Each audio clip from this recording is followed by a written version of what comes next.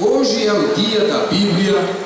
Deus nos deu esta obra-prima, pois é para o nosso bem que tudo ela nos ensina.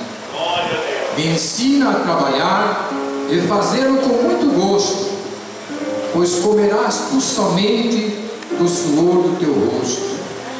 Me ensina a não mentir e nunca ficar com ira, pois a Bíblia diz claramente: o diabo é o pai da mentira. Também me ensina a não roubar, contentar-se com o que Deus me deu. Nunca sejas avarento, nem cobice o que não é teu. Me ensina a economizar, e eu faço com muita razão, quando me diz não gastar naquilo que não é pão.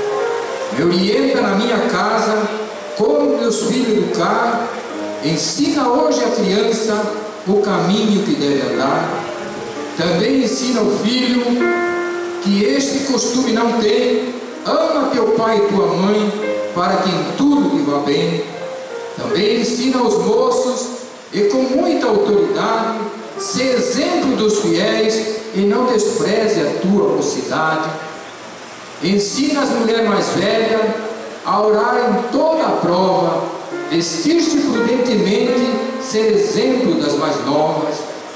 Ainda ensina as mulheres que a Bíblia tem ouvido a falar um pouquinho menos e amarem mais seus maridos. Também ensina os maridos a atenção para este negócio, não ficar pulando cerca, nem cobiçar a mulher do próximo. Também ensina o pastor, eu sou pastor e não sou tonto. A Bíblia sempre está mandando, só na próxima poesia oculta.